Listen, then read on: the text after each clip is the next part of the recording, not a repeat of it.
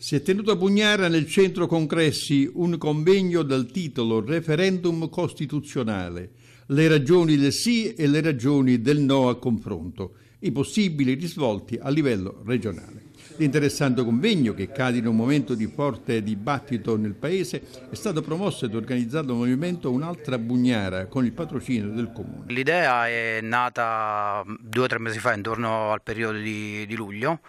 quando già si cominciavano ad intravedere eh, diciamo, e a formare i primi comitati per il sì e per il no. È chiaro che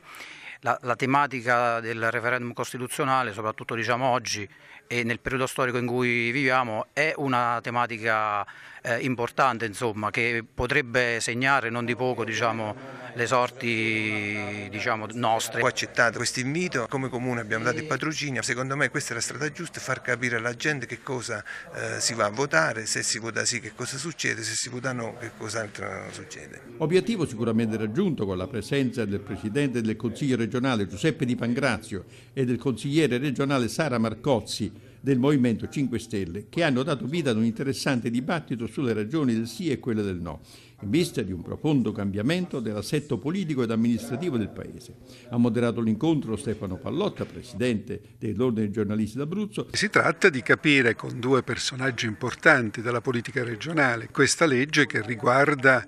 eh, almeno 40 articoli della Costituzione italiana, come dire uno degli interventi più consistenti dal dopoguerra oggi sulla nostra Carta Costituzionale. Siamo qui per il no, per invitare i cittadini e per convincere tutti i cittadini ad andare a votare il 4 dicembre a votare no,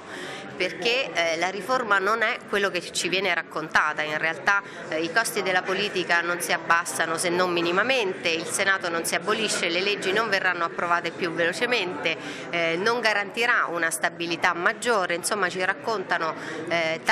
tante favole in realtà il governo Renzi e i padri costituenti Boschi, Renzi e Verdini, eh, ma in realtà la Costituzione che abbiamo oggi eh, gode ancora di buona salute ed è ancora il meglio che possiamo sperare. Quali sono le ragioni del sì? Non c'è una ragione specifica, ci sono tante ragioni, è un ammodernamento dello Stato, c'è un risparmio economico, c'è uno snellimento nell'approvazione delle leggi, ma c'è soprattutto dare voce ai cittadini. Il Senato degli enti territoriali vuol dire finalmente finalmente che i territori partecipano alla vita nazionale del nostro Paese. Mi pare che ci sono tanti punti che vengono toccati, ce n'è uno in particolare, finalmente si riforma il sistema del referendum dove c'è certezza della partecipazione popolare, insomma non c'è un motivo specifico. Certo questa è una riforma importante che è moderna, che porta in avanti il nostro Paese.